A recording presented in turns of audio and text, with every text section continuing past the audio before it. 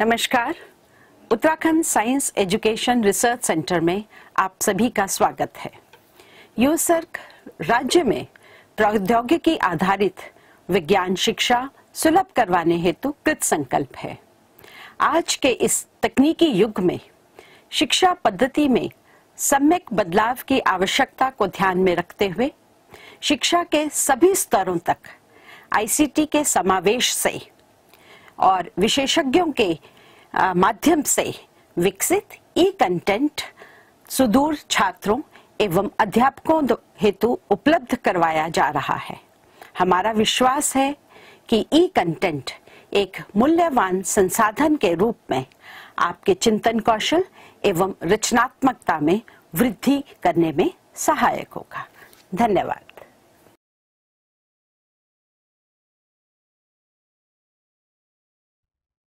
आइए दोस्तों, इस वीडियो में हम इस उदाहरण को हल करेंगे। उदाहरण कहता है, बावन ताशों की एक गड्डी से चार पत्तों को चुनने के तरीकों की संख्या क्या है?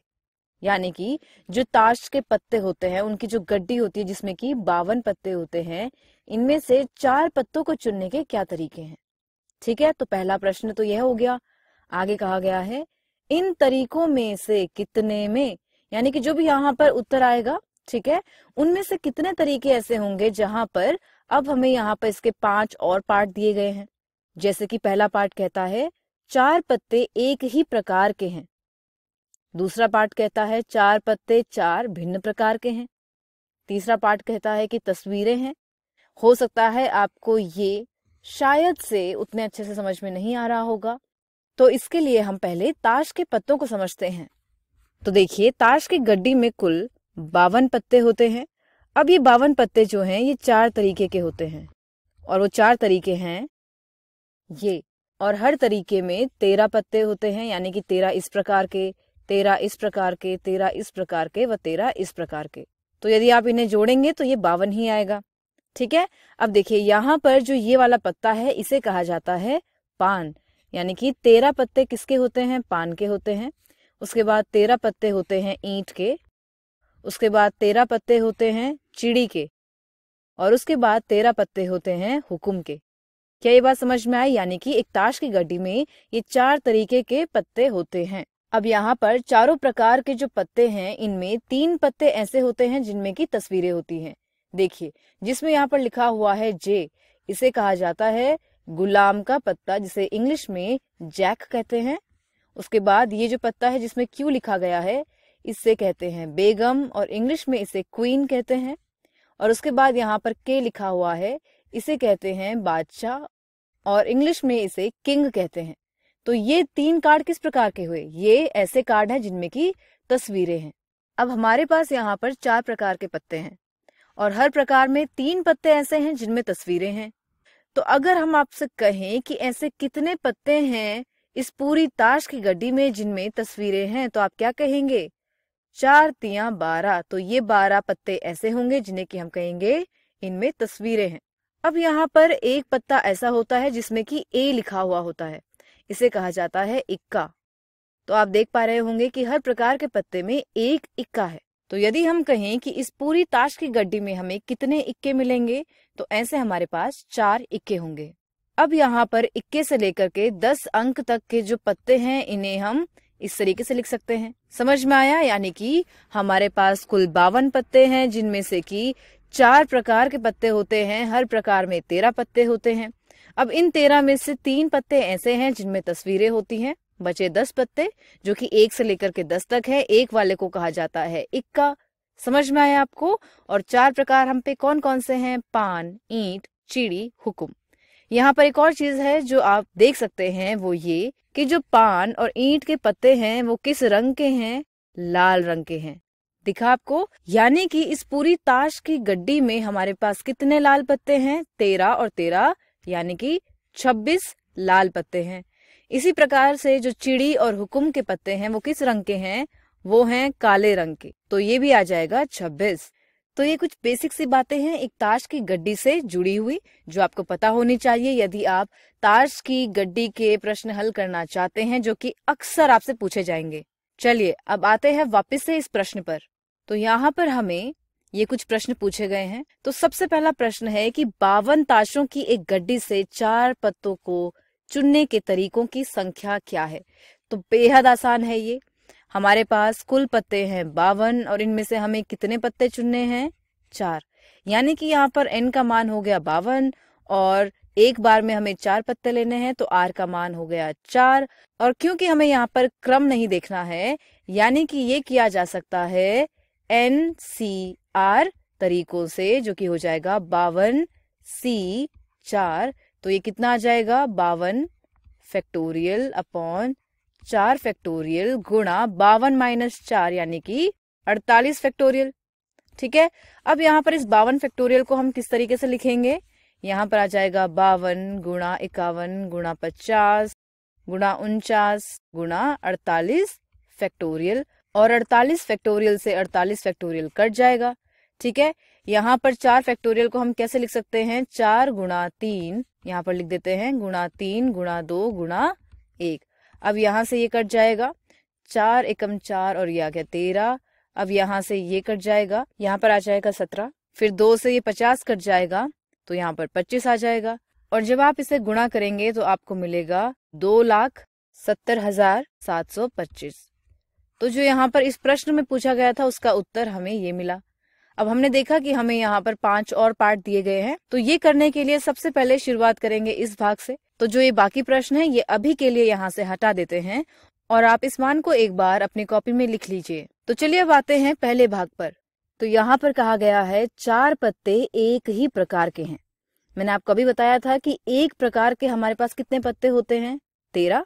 यानी कि तेरह पत्ते ईंट के हो गए, तेरह पत्ते पान के हो गए, तेरह चिड़ी के और तेरह हुकुम के।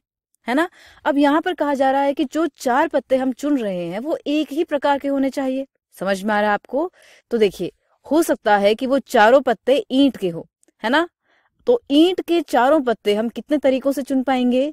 तेरह, सी, चार तरीकों से। तो यहाँ पर लिख देते हैं कि ईंट के पत्ते। लेकिन ऐसा भी तो हो सकता है कि वो चार पत्ते ईंट के ना होकर के पान के हों, है ना? तो ऐसे में हम इन्हें कितने प्रकार से चुन पाएँगे? तो तेरह, सी, चार। और इसी तरीके से जो बाकी दो प्रकार बच गए, उनमें से भी हम तेरह, सी, चार तरीकों से इन चार पत्तों का चुनाव कर सकते हैं। जैसे कि चार पत्ते हो सकता है चिड़ी के हों या फिर चारों पत्ते हुकुम के हों। तो यदि आप यहाँ पर देखते हैं तो यहाँ पर क्या हो रहा है? अकेले ही चार पत्तों को चुन लिया गया है। है ना? एक तरीका ये है साथ ही यहाँ पर एक और चीज़ हो रही है कि चार पत्ते जो हैं इस तरीके से भी चुने जा सकते हैं, यानी वो चारों पान के हों। इसी तरीके से यहाँ पर ये भी एक तरीका है और ये भी एक तरीका है। तो हम यहाँ पर क्या कह सकते हैं कि या तो ये हो, या ये हो, या ये हो, या ये हो। तो देखिए, जहाँ भी आपको और लिखा हुआ मिलता है, वहाँ पर हम करते हैं गुणा, और जहाँ पर भी आपको या लिखा हुआ मिले, वहाँ पर हम करते हैं जोड़ना। इस बात को आपको बिल्कुल अच्छी तरीके से ध्यान रखना है। अब क्योंकि यहाँ पर हमें क्या दिख रहा है? या दिख रहा है तो यहाँ पर हम इन चारों को आपस में जोड़ लेंगे। अब क्योंकि ये चारों ही तेरह सी चार हैं तो हम यहाँ पर लिख सकते हैं चार गुणा तेरह सी चार। ठीक है तो ये क्या आ जाएगा? चार गुणा तेरह फैक्टोरियल अपॉन चार फैक्टोरियल गुणा तेरह माइनस चार, यानी कि नौ फैक्टोरियल। आइए इसे थोड़ा सा और हल करें। तो तेरह फैक्टोरियल को हम लिखेंगे तेरह, गुणा बारह, गुणा ग्यारह, गुणा दस और यहाँ पर गुणा नौ फैक्टोरियल क्योंकि हमें हर में दिखा कि हमने नौ फैक्टोरियल लिखा था। ठीक है तो यह आ जाएगा चार फैक्टोरियल अब नौ फैक्टोरियल से नौ फैक्टोरियल कट जाएगा। चार फैक्टोरियल को हम कैसे लिख सकते हैं? जी हाँ चार फैक्टोरियल को हम लिख देंगे चार, गुणा तीन, गुणा दो, गुणा एक। तो यहाँ पर चार से चार कट जाएगा। यहाँ पर आ जाएगा चार ठीक है, यहाँ पर आ जाएगा पाँच। अब यहाँ पर बचा तेरह, चार, ग्यारह और पाँच। और इन सभी को आपस में जब आप गुणा करेंगे तो आपको मिलेगा दो हज़ार आठ सौ साठ। यानी कि जो हमने निकाला था कि दो लाख सत्तर हज़ार सात सौ पच्चीस तरीकों से हम बावन पत्तों में से चार पत्तों को चुन सकते हैं तो इन तरीकों में से दो हज़ार आठ सौ साठ तरीके ऐसे हैं जिनमें कि चारों ही पत्ते एक ही प्रकार के होंगे। समझ में आई आपको ये बात? तो यहाँ पर इस चीज़ को लिख लेते हैं और अब आते हैं इसके दूसरे भाग पर। यहाँ पर कहा गया है, चार पत्ते चार भिन्न तरीके के हैं। इसका मतलब जो चार पत्ते हम चुन रहे हैं, वो कुछ इस प्रकार से हों कि एक पत्ता तो हो पान का, ठीक है? एक पत्ता हो चिड़ी का, एक पत्ता हो ईंट का और एक पत्ता हो हुकुम का। समझ में आया इतना? अब देखिए यदि हम पान के पत्तों में से एक ही पत्ता चुनना चाहते हैं तो क्योंकि पान के कुल तेरह पत्ते होते हैं तो तेरह पत्तों में से हमें एक पत्ता चुनना है तो ये हम तेरह सी एक तरीके से कर पाएँगे। और इसी प्रकार से चिड़ी का भी एक पत्ता हम तेरह सी एक, और ईंट का भी, और हुक्म का भी इसी प्रकार से चुन पाएँगे। अब देखिए, यहाँ पर हमने एक प्रकार में से एक ही पत्ता लिया। है ना? जब हम इन सभी को साथ में करेंगे, तब जाकर के हमें चार पत्ते मिल रहे हैं। तो यहाँ पर क्या आएगा? और। यानी कि पहले ऐसा करेंगे, फिर ऐसा करेंगे, यानी कि सभी को हम साथ में करेंगे तो और आएगा। और मैंने आपको बताया था कि जब भी और आएगा, तब हम क्या करते हैं? गुणा करते हैं। यानी कि यहाँ पर आएगा, तेरह सी एक गुणा, तेरह सी एक गुणा, तेरह सी एक गुणा तेरह सी एक और ये आ जाएगा तेरह फैक्टोरियल अपॉन एक फैक्टोरियल गुणा तेरह माइनस एक, यानी कि बारह फैक्टोरियल और इसी प्रकार से यहाँ पर बाकियों में भी हम यही लिखेंगे, क्योंकि एक फैक्टोरियल का मान होता है एक, है ना? और यहाँ पर बच जाएगा बारह फैक्टोरियल और यहाँ पर जो ये तेरह फैक्टोरियल है, इसे हम किस तरीके से लिख सकते हैं? तेरह गुणा बारह फैक्टोरियल सभी में ये करेंगे। यानी कि यहाँ पर हमें मिलेगा तेरह गुणा बारह फैक्टोरियल अपॉन बारह फैक्टोरियल। तो बारह फैक्टोरियल से बारह फैक्टोरियल कट जाएगा और हमें क्या मिल जाएगा? यहाँ पर आ जाएगा तेरह की घात चार, जो कि आएगा अट्ठाईस हज़ार पाँच सौ इकसठ। यानी कि जो हमने देखा था, दो लाख सत्तर हज़ार सात सौ पच्चीस तरीकों में से अट्ठाईस हज़ार पाँच सौ इकसठ तरीके ऐसे होंगे जिनमें कि चारों पत्ते भिन्न प्रकार के होंगे। चलिए अब बात करते हैं अगले भाग की।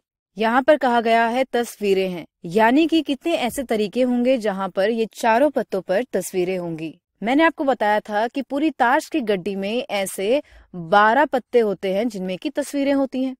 ठीक है? तो अब इन बारह पत्तों में से हमें चार पत्ते चाहिए। तो ये हम बारह सी चार तरीकों से कर सकते हैं और ये आ जाएगा बारह फैक्टोरियल अपॉन चार फैक्टोरियल गुणा बारह माइनस चार यानी कि आठ फैक्टोरियल। तो यह आ जाएगा बारह गुणा ग्यारह गुणा दस गुणा नौ गुणा आठ फैक्टोरियल अपॉन चार गुणा तीन। चार फैक्टोरियल को हम लिख सकते हैं इस प्रकार से। और आठ फैक्टोरियल को ऐसे ही लिख दिया तो यहाँ पर आठ फैक्टोरियल से आठ फैक्टोरियल कट जाएगा। चार और तीन से ये बारह कट जाएगा। दो से ये दस कट जाएगा। ठीक है तो यहाँ पर पाँच आ जाएगा। और यहाँ पर हमें मिलेगा चार सौ पिचानवे। यानी कि चार सौ पिचानवे तरीके हैं कि हम जो चार पत्ते चुनेंगे, वो कैसे होंगे, उनमें तस्वीरें होंगी। ठीक है? चलिए बात करते हैं अगले भाग की। अगले भाग में कहा गया है, दो पत्ते लाल रंग के और दो काले रंग के हैं। तो देखिए, सबसे पहले तो यहाँ पर और लिखा गया है, यानी कि गुणा होगा। ठीक है? अब दो पत्ते चाहिए हमें लाल। मैंने आपको बताया था कि पूरी ताश की गड्डी में लाल रंग के कितने पत्ते होते हैं? छब्बीस होते हैं। और कौन कौन से? पान और ईंट के। तो 26 पत्तों में से हमें दो पत्ते चुनने हैं, ये हम 26 सी दो तरीकों से कर पाएँगे। इसी प्रकार से दो काले रंग के पत्ते भी हम 26 सी दो तरीकों से कर पाएँगे, क्योंकि चिड़ी और हुकुम को मिलाकर के 26 पत्ते होते हैं जो कि काले रंग के होते हैं, है ना? तो यहाँ पर आएगा 26 फैक्टोरियल अपॉन दो फैक्टोरियल गुणा 26 माइनस दो, यानी कि 24 फैक्टोरियल। और यहाँ पर भी आ जाएगा 26 फैक्टोरियल अपॉन दो फैक्टोरियल गुणा 24 फैक्टोरियल अब इस 26 को हम लिख सकते हैं 26 गुणा 25 गुणा 24 फैक्टोरियल और यहाँ पर भी हम यही लिख देंगे। अब 24 फैक्टोरियल से 24 फैक्टोरियल कट जाएगा। दो फैक्टोरियल होता है दो के बराबर तो यहाँ पर आ जाएगा तेरह, ठीक है? और ये हमें मिल जाएगा एक लाख पाँच हज़ार छह सौ पच्चीस के बराबर। यानी कि हमारे पास इतने तरीके हैं जिनमें चार पत्तों में से दो पत्ते लाल रंग और दो पत्ते काले रंग के होंगे। चलिए अब आते हैं अगले भाग पर, जो कि इसका आखिरी भाग भी है। इस भाग में कहा गया है, सभी पत्ते एक ही रंग के हैं, यानी कि जो चुने गए चार पत्ते हैं, या तो वे सभी लाल रंग के हों, या फिर सभी काले रंग के हों। ध्यान दीजिएगा, यहाँ पर मैं क्या कह रही हूँ, या तो सभी लाल रंग के हों, या फिर काले रंग के हों। अब लाल रंग के हमारे पास कितने पत्ते होते हैं? 26 यानी कि 26 पत्तों में से हमें चार पत्तों का चुनाव करना है तो ये 26 सी चार तरीकों से किया जा सकता है। ठीक इसी प्रकार से यदि हमें 26 काले पत्तों में से चार का चुनाव करना होगा तो वो भी 26 सी चार तरीकों से किया जाएगा। और क्योंकि यहाँ पर लिखा हुआ है या, क्योंकि देखिए अपने आप में ये जो है, इसमें हमें चार पत्ते मिल रहे हैं ना? और इसी तरीके से अपने आप में यहाँ पर भी हमें चार पत्ते मिल रहे हैं।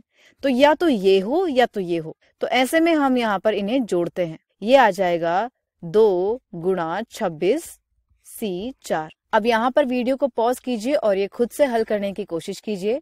तो ये आ जाएगा दो गुणा छब्बीस फैक्टोरियल अपॉन चार फैक्टोरियल गुणा छब्बीस माइनस चार फैक्टोरियल, यानी कि कितना? बाईस फैक्टोरियल।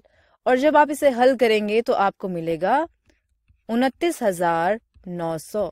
यानी कि हमारे पास उनतीस हज़ार नौ सौ तरीके हैं, जहाँ पर सभी चार पत्ते एक ही रंग के हों, या तो काले या फिर लाल। तो समझ में आया आपको? तो यहाँ पर हमने इन सभी भागों को हल किया और हमें ये सभी उत्तर मिले। मैं उम्मीद करती हूँ कि इस उदाहरण से आपको और भी ज़्यादा समझ में आया होगा कि संचय को किस तरीके से हम प्रयोग करते हैं। और ऐसे ही यदि आप भी खूब सारे प्रश्नों को हल करेंगे तो आपकी और अच्छी प्रैक्टिस हो जाएगी।